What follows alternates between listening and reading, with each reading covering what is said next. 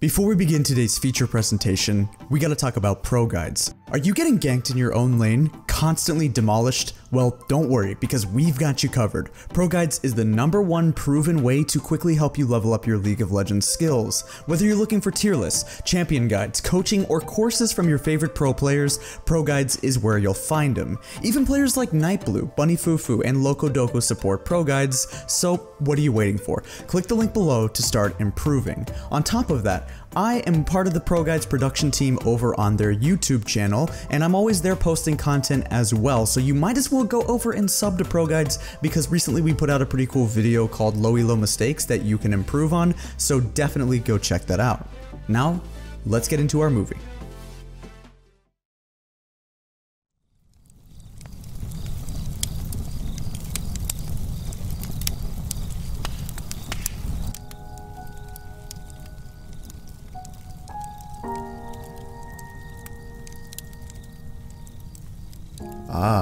Aatrox.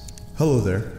You know, I've watched over Summoner's Rift for as long as I can remember. I've seen seasons change, metas shift, new champions be released, and others update, while some seem to fade away with the passage of time. But you, you're different. You've had such an interesting time here. The community, the developers, and even I thought you would be amazing when you were released. But you weren't, were you? And then you changed. But it's not the same. Your name is a resemblance of your former self, but you, you Aatrox, you're not. What happened to you, my Darkin?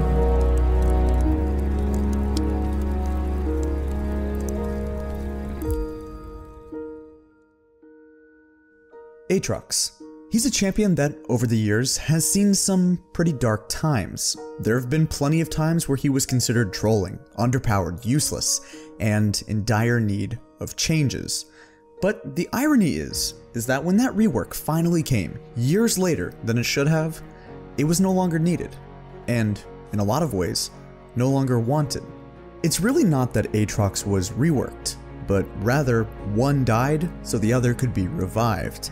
The two types of Aatrox that we've seen, the pre-rework and the post-rework, are almost entirely different champions and caused an outcry from the players who loved him. From a failed release to complete and utter neglect from the developers, and then to finally have a time that he could shine, only to be killed off in favor of a new version. He would then destroy the competitive scene, undergo countless removals of his mechanics while receiving mini rework after mini rework after mini rework, and now finds himself in a bit of a weird spot. A champion that had so much potential from the beginning, with the developers promising us so much an incredible lore, character model, idea, and splash art, to now be one of the worst mistakes that we've seen from them and cause a massive divide in their community. This is Aatrox's story.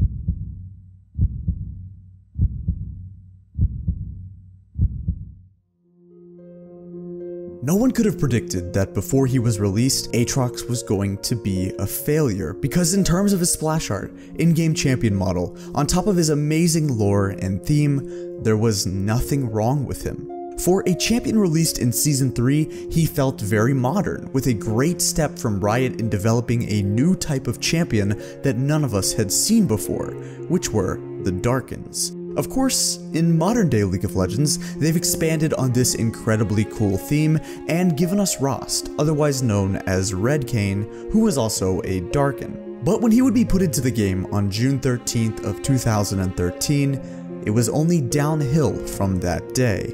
The champion was buggy, awkward, had horrible gameplay design and flaws, and felt very rushed. Aatrox was notorious for one specific ability in his original kit essentially making no sense and questioning why it was ever made to be that way, which was his old ultimate. His ultimate, the supposed best ability in any champion's kit, scaled with ability power and dealt magic damage.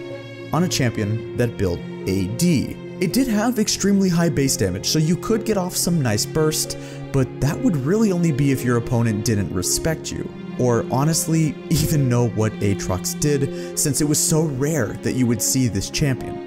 For this version of Aatrox, he was by far the most neglected champion we've ever seen. Let's put this into perspective.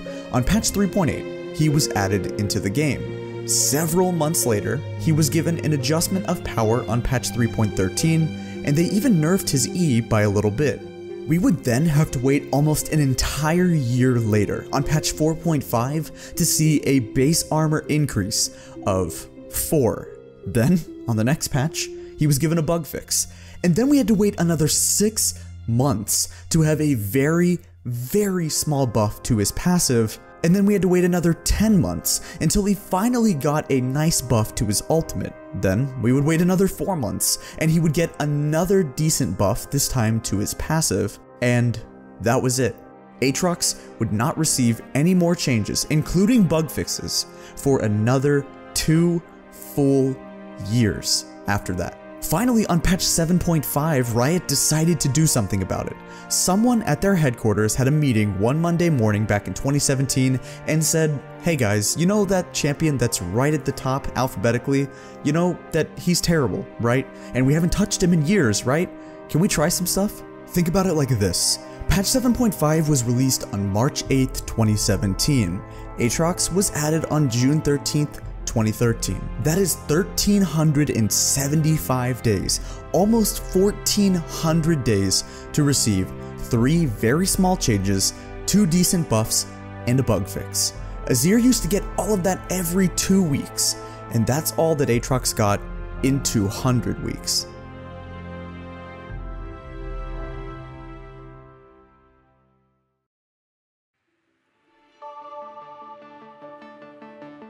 When this patch finally came, it didn't start off too well. He would end up having to be hotfix buffed later that week because he was still terrible.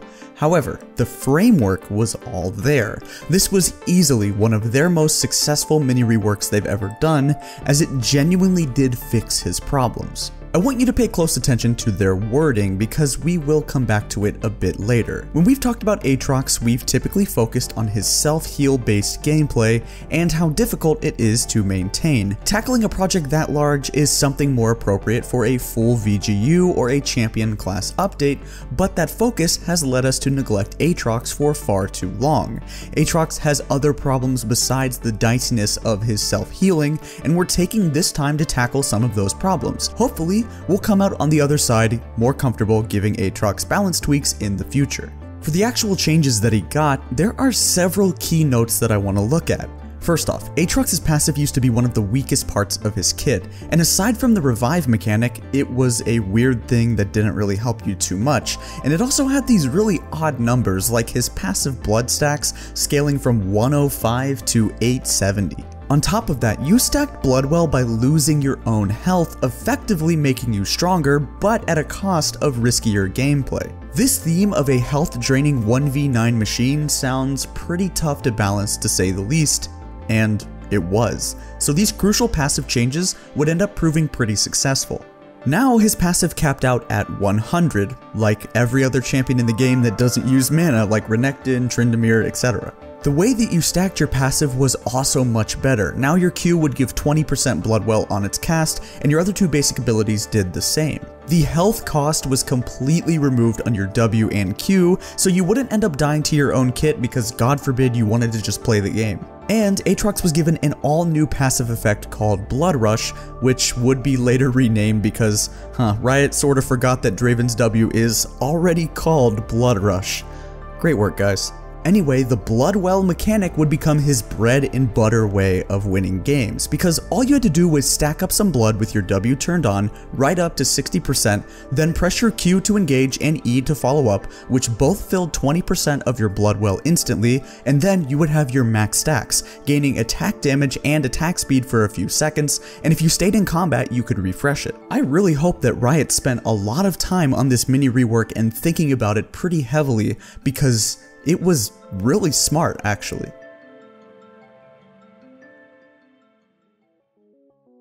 This would give the champion very clear outplay potential from the enemy where you would end up kiting him after he reaches max stacks, and then the Aatrox player was rewarded because every time you got your god mode, you would have a specific time frame and this would be your chance to do something. Rather than just innately having an insane amount of sustain, there was a dedicated time to go ham and a time to back off if you're the opponent. As stated before, he wasn't immediately strong, but several buffs came his way and a few number tweaks would eventually push him to be top tier. Along with several others, Hashinshin was one of the early adopters of the Aatrox changes, even before he was truly OP. He wasn't much of an Aatrox player at the time before the changes, and was mostly known for his Jax, Olaf, and Darius, but after these changes came through for his mini rework, he would easily begin to adore the champion. After years of being one of the biggest jokes, rejects, and failed champions by Riot, he was officially strong, and headed into Season 8, he would only become stronger. With the introduction of a real keystone for bruisers, Conqueror would be the straw that broke the camel's back for Aatrox. It was the perfect rune for him in every single way, on top of being insanely OP.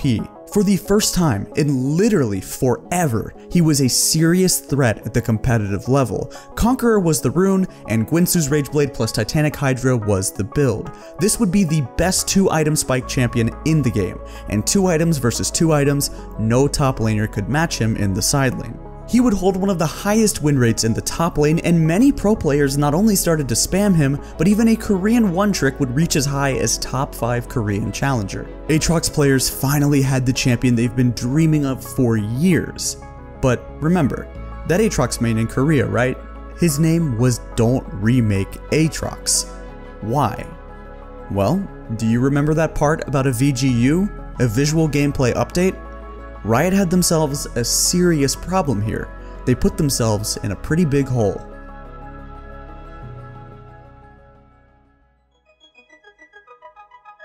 The thing that I don't understand the most about the situation is the timing. Why would Riot go ahead and do this mini rework?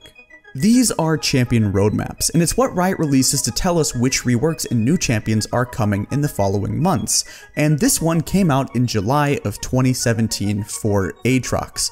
So it's not just that Riot knew he was going to be reworked internally and know what the timeline was, but also the entire community knew that he was being reworked. This was public information posted on their website. Think about the timeline here. The mini rework came out one month before the champion roadmap, so they gave him these changes, barely even gave it a month, and then said, oh yeah, okay, well we're just gonna fully visually gameplay update Aatrox and change his abilities entirely. Why would they continue to tease Aatrox players and people who liked this version by finally fixing what was wrong with him, and then what felt like out of nowhere, he was reworked? And it only felt like it was out of nowhere simply because his current state was so strong. If this rework came out one year before, nobody would have said anything. It feels like the language used on his champion roadmap specifically is very telling. They don't say anything about preserving his playstyle. In fact, they straight up say it wasn't healthy. If you look at their other reworks, let's see how Riot Reav3, the guy who posts the champion roadmaps, likes to describe the reworks. Evelynn's rework? Well, there's Preserve. Urgot, Preserve, Warwick, Modernization, and Preserve. Kayle and Morgana, Preserve. Nunu and Willump, Preserving the Ultimate and Consume. What about the brand new Champion roadmap that was just released the other month outlining the new Fiddlesticks and Volibear reworks coming soon? What does that say? Every other rework talks about preserving the kit, preserving their identity, but Aatrox's doesn't. In fact, the only thing that was preserved from Riot's rework of Aatrox, the literal only thing, was his revive. And that's gone now. That doesn't even exist anymore. It's been completely removed, and after a few attempts to balance it, there's no more revive. The champion is nothing like his former self, barring the red and gray color scheme and the Darkin thematic. The champion is more like other champions than his own former version. When the rework came out, at first it was, well, trash. It felt clunky, underwhelming, and in general it was rushed and felt incomplete. The W was very slow, and it was super hard to hit, and the reward wasn't even all that great because the slow wasn't even strong. So, naturally, they would hotfix buff him, way, way, way over buff him, and then he would take over the competitive scene. The biggest difference between all of the versions of Aatrox we've seen since the rework is that this version, right after the rework, had the most consistent use of his revive. All you had to do was press R, and if you were in your ultimate at the time of dying, you would be revived. And of course, the pros would go nuts with this. Wanted to give this thing a try, and it's it's really complicated, intricate thing. As you're getting close to a fight, what you need to do is see if I can get this. Yeah, you press R. That's all you really got to do. And then you can just run at the guy faster, and then your damage is higher, and you shouldn't really be doing that after you start hitting it or get to the fight late. So as I wait for this to time out, I'll see if I can uh, get it again.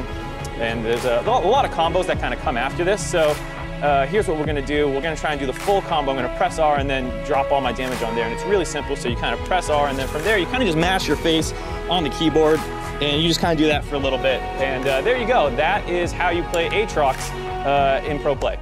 Every single tower dive was successful. Just make the Aatrox tank for you. Every 1v1 was successful because Aatrox had a huge steroid in a strong laning phase and can be revived. Every time you tried to gank an Aatrox, it wouldn't work because he would press R. After being a top, top tier pick in competitive play and solo queue for months on end, Riot would make some changes. The amount of changes this champion has received to his kit after already being reworked is absurd, and if you think about it, even modern day December 2019 Aatrox has a lot of differences from the rework last year. His revive went through several iterations, and now it's no longer there. Aatrox's E used to have passive healing, upwards of 33% which worked on everything, minions, monsters, not just champions. It was then nerfed all the way down to 15%, then it was completely removed on non-champions and only healed you on champions, and then it was completely removed again and reworked onto his passive. His E used to also be on a charge system and hold up to two charges, Nope, that's gone too. His E used to also grant bonus attack damage, but that's been removed too. His passive has received a full-on rework. It used to reduce healing and shielding on the target, but now this has been removed completely and is now just his form of built-in sustain. And of course, his ultimate can now have its duration extended if you get a takedown, and rather than reviving, Aatrox gets increased healing. And that part's been changed too, because at one point Soraka Aatrox was completely unkillable. Aatrox has a huge problem, which is very similar to Ryze in that he's had so many different versions of his kit. Release Aatrox was a Tryndamere-esque drain tank auto attack champion and was completely terrible and a troll pick. Then we have the post patch 7.5 Aatrox, which was the real version of the champion that we were promised back in season 3 and was actually good. We then of course got the full re-release, which would end up making Riot Jag one of the most hated members of the company because he changed the champion in a way that removed a lot of what made players like him and instead make him play a lot more like Riven, which is a totally different champion. And of course now we have present day Aatrox, which is technically a version of the rework, but has received so many changes and playstyle adjustments that it's not even the same champion. So where does this leave us? We have a version that people do tend to like right now, and he's decently balanced at the moment, at least compared to his last season guaranteed revive version, and he's pretty strong in the meta and has a decent play rate. But there's still a hole left by Riot, where old Aatrox used to be. Presumably, they put a lot of time into that mini rework and it was so successful that it leaves a lot of people wondering why did it have to be removed? After doing research for this video, I see a lot of lack of consistency from Riot, and I believe that the Aatrox community has every reason to be upset, because it kind of feels like no other champion has been given this treatment. A lot of the other reworks use the same wording about preserving the old playstyle, keeping the champion to the same theme, allowing veterans to feel at home. But this wasn't the case for Aatrox. A lot of the other prestige skins have big changes and are arguably, in big quotation marks, kinda worth buying.